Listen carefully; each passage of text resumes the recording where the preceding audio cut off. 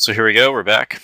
As you can see, it has loaded in the higher resolution version of the model that was created from the images. There's a lot of programs that are on the internet right now that will actually generate uh, geometry like this from stereographic images.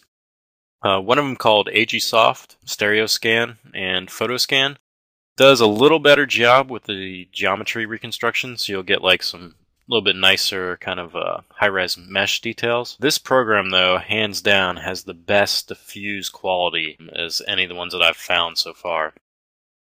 The you can see how it's just brilliantly stitched all those uh, images that I took of the stump together, and it's like perfectly clean, well blended together, and you still get a lot of detail out of the image. So even though we only get, you know, not the strongest actually mesh resolution on this, we can take this texture and use it as a bump map across the model to kind of get some of that uh, detail back onto it. So now that we have this generated, you can see it's all high res and pretty. We're just going to save this out to an OBJ. So I'm going to go up here, File, and do Export Scene As. And here it gives you an option for where you want to save it. So I'm just going to change this directory, and we're already in kind of the tree area with all my pictures. So I'm just going to label this stump and hit save.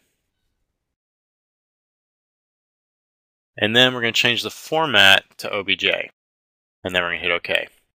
Now what's this doing? It's just going to export out the model and then export out the textures that correspond with the model. Now if I look in the folder that has all these trees and come down here and you can actually see the texture maps that it spits out. So it's got three of them here spitting out. So this mesh has generated three sets of textures along with it. And if you look at the size of these textures, you got 14096, 14096, and 12048. So you're getting a lot of texture resolution on the model, which is pretty good.